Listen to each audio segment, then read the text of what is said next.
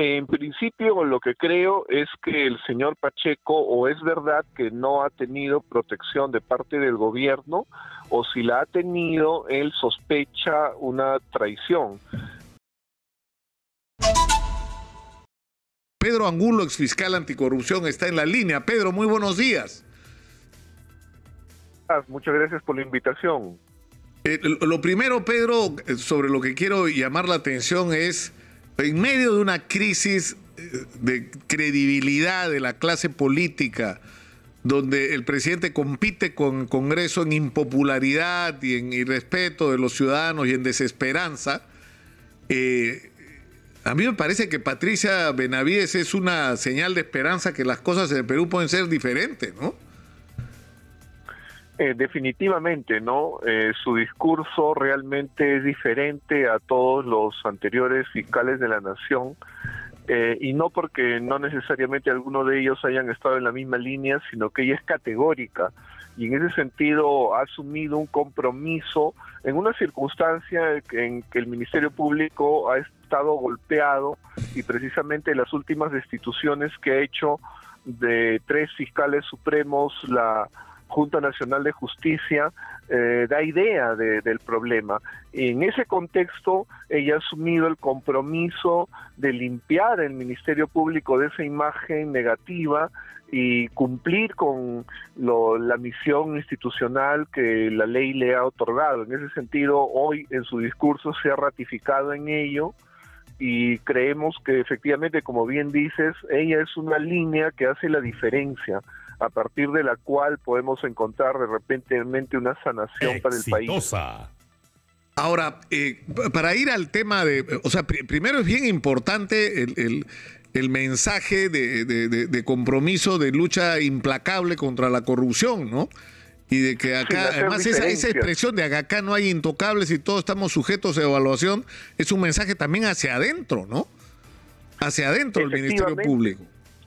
Efectivamente, ¿no? Y creo que un poco los cambios que ella misma ha hecho denotan precisamente eso, que no hay diferenciaciones entre los fiscales y que todos se dirigen a cumplir su misión institucional.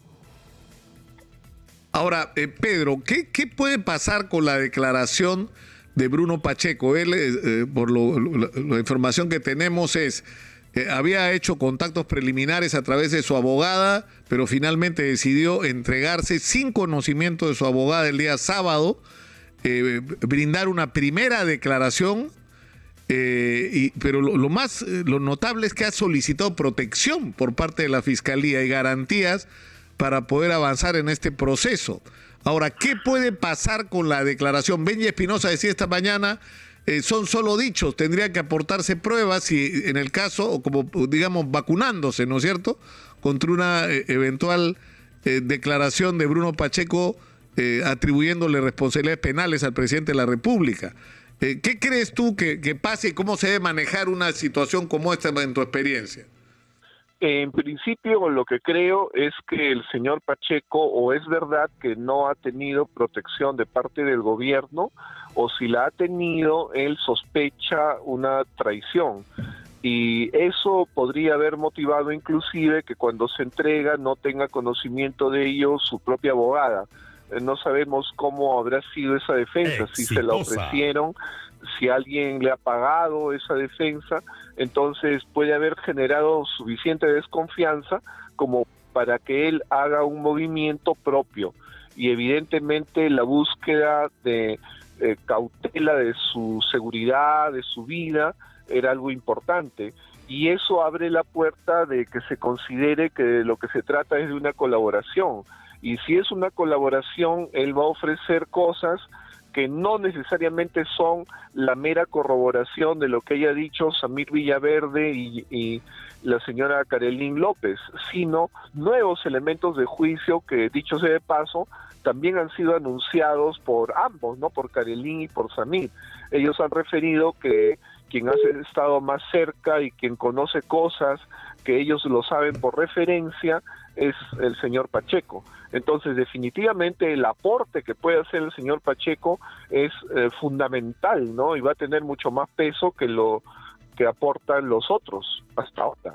Ahora, acá hay dos temas, ¿no? Uno, eh, porque entiendo que, que parte de la, de la información que el Ministerio Público está requiriendo no es solamente aquella que se refiere a presuntos actos de corrupción cometidos en relación a los ascensos, a nombramientos, a contrataciones, a adquisiciones, etcétera, sino también eh, a, qué es lo que ha pasado en estos cuatro meses.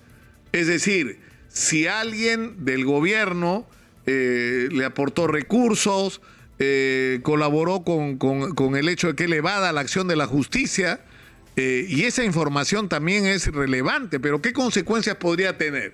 si, si Bruno Pacheco dice eh, Castillo o tales miembros del gobierno me han estado protegiendo este tiempo, ¿no? Ellos son los que me han tenido escondido.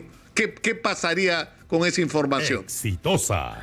Eh, esa información sería bastante grave en relación a la situación del presidente. Eh, como bien se ha dicho por varios que han realizado análisis eh, penal y constitucional de esta problemática. Recuerdo, por ejemplo, a César Azabache, la circunstancia que estamos enfrentando no había podido ser anticipada ni por la ley ni, por la constitución, que un presidente estuviera vinculado a criminalidad organizada, eh, que además era un delito que ni siquiera existía cuando fue dada nuestra constitución.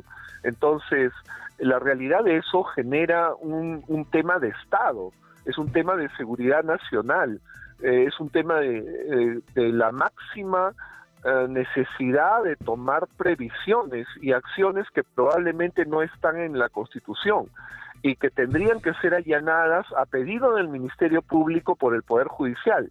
El Ministerio Público tiene un mandato y su mandato es proveer a la impartición de justicia sin reconocer limitaciones e inclusive eh, los artículos 4 y 5 obligan al fiscal creativamente a que interpretando los principios del derecho peruano pueda hacerlo. Ahora, el Poder Judicial en su propia ley orgánica tiene otro mandato. Ellos deben impartir justicia y no pueden aducir para no hacerlo vacíos de la ley. Es decir, ellos tienen que, vía la interpretación y el criterio discrecional, cubrir vacíos. Ahora, claro, la defensa podrá decir que estas medidas que no tienen respaldo, sino deductivo, están en contra de la Constitución, en contra del, del debido proceso, e irán pues a los niveles constitucionales. Ante un juez constitucional terminará el tema en el Tribunal Constitucional, pero mientras funcionará, así como ahora está funcionando la investigación preliminar, pese a que la defensa la cuestiona y acciona contra ella. Y en ese sentido corresponde a los jueces definir las situaciones que a pedido del Ministerio Público tengan que darse como excepcionales, ¿no? Figuras ante la situación que estamos afrontando. Puede venir cualquier cosa, desde un pedido de impedimento de salida del presidente hasta una privación de su libertad, porque la circunstancia, como digo, es excepcional y delicada y ya es un nivel, pues, de, una cuestión de Estado, ¿no? Claro, claro.